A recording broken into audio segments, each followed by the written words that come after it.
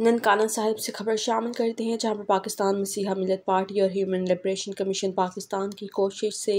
पंजाब के ज़िला ननकाना साहिब के गाँव जातरी के चालीस गज पसमानदा और गरीब मसीहियों के खिलाफ गाँव के बासर ज़मींदार राना मोहम्मद अनवर की तरफ़ से दर्ज झूठी और बेबुनियाद एफ़ आई आर खारिज होने के बाद पुलिस ने उस गाँव के तेरह गरीब मसीहियों, अक्रम मसीह वल्द शारा मसीह, रोबिन मसीह वल्द अक्रम मसीह, मुनीर मसीह वल्द चंद मसीह, रफाकत मसीह वल्द शारा मसीह नज़ीर मसीह वल्द चंद मसीह, सिकंदर मसीह वल्द मुश्ताक, शहबाज मसीह वल्द नज़ीर मसीह के खिलाफ एक अदद कंप्यूटर कीमत पचपन हज़ार एल सी डी सात हज़ार गंदम छः मन और एक मोबाइल फ़ोन, छब्बीस हज़ार पाँच सौ रुपये चोरी करने की बाबत झूठी और बेबुनियाद दरख्वास्त। थाना मांगटान वाला और जबकि एक और दूसरी दरख्वास्त, रियाज मसीह वल्द हनीफ मसीह, साजिद मसीह वल्द हनीफ मसीह, जॉर्ज मसीह वल्द पेरा मसीह, काशिफ मसीह वल्द सादिक मसीह, मुश्ताक मसीह वल्द चंद मसीह नसरुल्ला वल्द शहबाज के खिलाफ पीटर रंजन, नल ट्यूबवेल, कसूरी पंखा वैक्स वॉल, तेल वाली टैंक कीमत दो लाख पंद्रह हज़ार रुपए चोरी की झूठी और बेबुनियाद दरख्वास्त थाना मांगटन वाला में दायर कर दी गई है।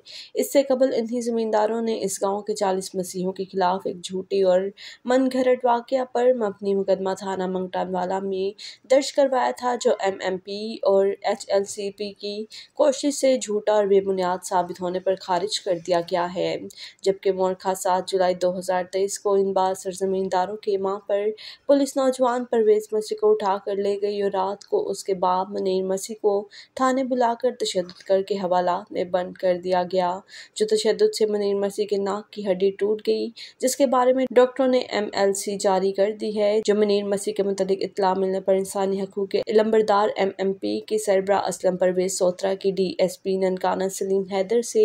फ़ोन पर बातचीत करने के बाद मुनीर मसीह को रिहा कर दिया गया। लेकिन परवेज मसीह को अगले रोज़ अदालत के हुक्म पर रिहाई, जो उससे पहले ये बासर ज़मींदार दिन दहाड़े गाँव में अकलीती M N A Tariq C Kaiser के हुकूमत फंड से तामीर कम्यूनिटी सेंटर और गलियों में लगे सिवलिंग उखाड़ कर ले गए बड़ी मुश्किल से मुकदमा दर्ज हुआ। लेकिन आज तक पुलिस ने कोई मुलजिम गिरफ़्तार नहीं किया। ये बासर मुलजमान, इन गरीब मसीहों को गाँव से निकालना चाहते हैं, इसलिए कई बार खातन और बच्चों पर तशद कर चुके हैं। और इसी तरह कई गरीब मसीही गाँव बद कर चुके हैं। पूरी कौम से अपील है कि इनके लिए दुआ करें।